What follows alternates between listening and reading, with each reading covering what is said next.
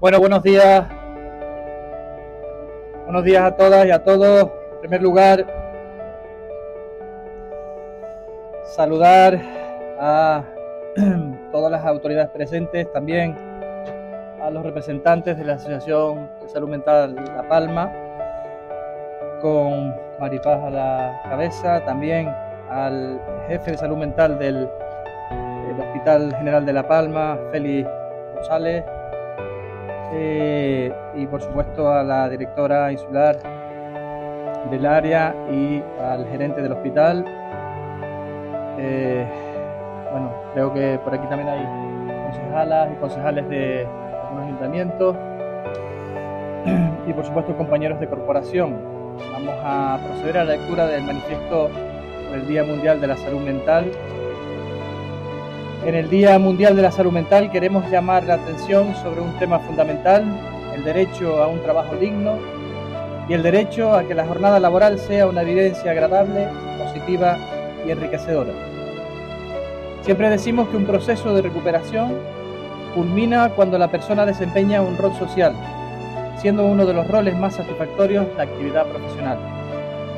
Esto es así porque un empleo bien remunerado nos procura un proyecto de vida independiente, al tiempo que la responsabilidad determina la naturaleza de nuestra experiencia, mental y nos ayuda a superar las limitaciones que muchas veces solo son autopercibidas.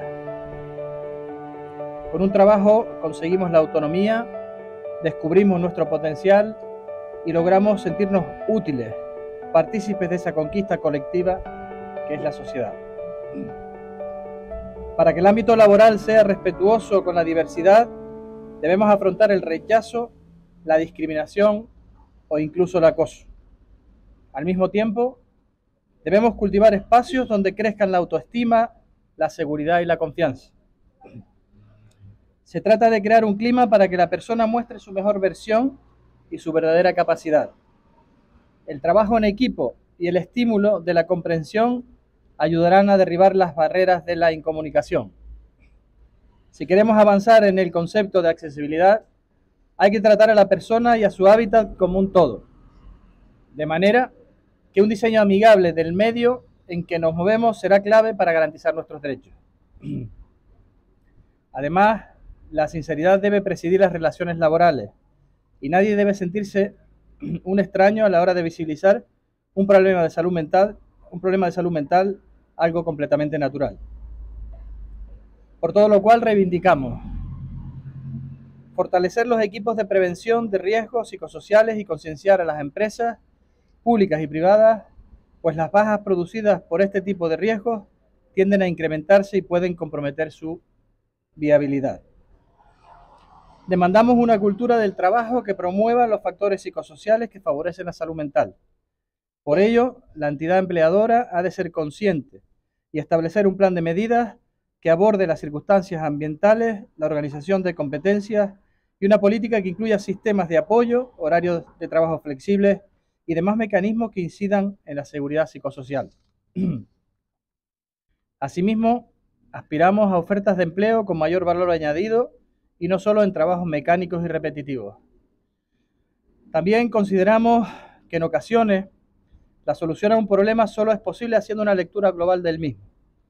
En este sentido, nos alineamos con el Objetivo de Desarrollo Sostenible número 8 sobre trabajo decente y crecimiento económico e instalamos el tejido empresarial y al e instamos al tejido empresarial y al Estado para que generen oportunidades en el acceso al empleo ordinario y hagan prospecciones, alianzas y políticas creativas que alienten los itinerarios de inserción sociolaboral.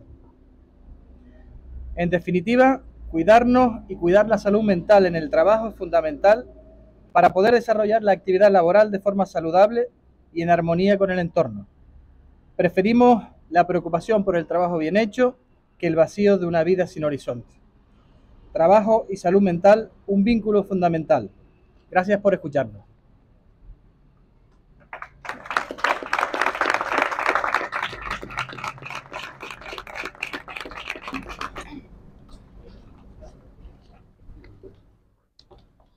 Muy buenos días a todos, todas. Es muy grato verlos aquí porque esto es un problema que nos atañe a todos. Mi trabajo se titula El sentir de un invisible. Es mi mente un río manso y a veces atormentado. Quiero el Señor a mi lado, en su costado descanso. Un pensamiento que lanzo al ser de la creación. Muéstreme la sanación, eres mi guía y mi luz, en el nombre de Jesús. Comience la narración. Genéticamente soy de enfermedad bipolar, me fueron a despertar del nubarrón en que voy. En donde quiera que estoy, el cuidarme es mi destino. Y aunque duro es el camino, valiente de cada día, le rezo una Ave María y lo consagro con vino. Entre bata blanco y discurso desgarrador, era mi verso mejor el que me trajo hasta allí. Lo siento, no comprendí y tómese la pastilla.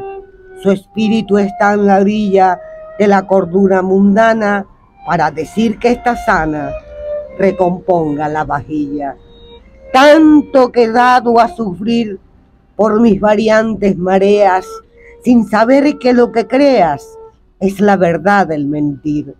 Hoy pudiendo discernir entre lo claro y oscuro, aparta de mí aquel muro que derecho no da el voto por ser un juguete roto de una vida sin futuro.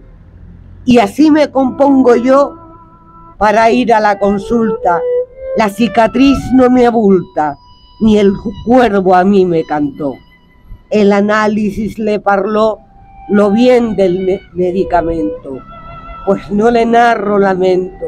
Él pronto se marchará y nunca preguntará la, la verdad de mi cuento.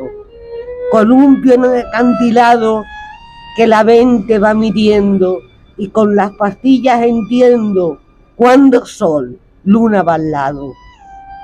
El pecho sí, alborotado al raudal de mi torrente. Siempre mantengo presente dar las gracias a familia que mantienen en vigilia el sentir de mi consciente. Con afán hoy celebramos viva la salud mental y sacándome el bozal, una décima la creamos. Albricias a los cercanos, tiempo de ver invisible. Nuestra búsqueda es posible por Seraf en la palmera que encuentra el grano en la era, por ver brillar lo increíble. Muchas gracias.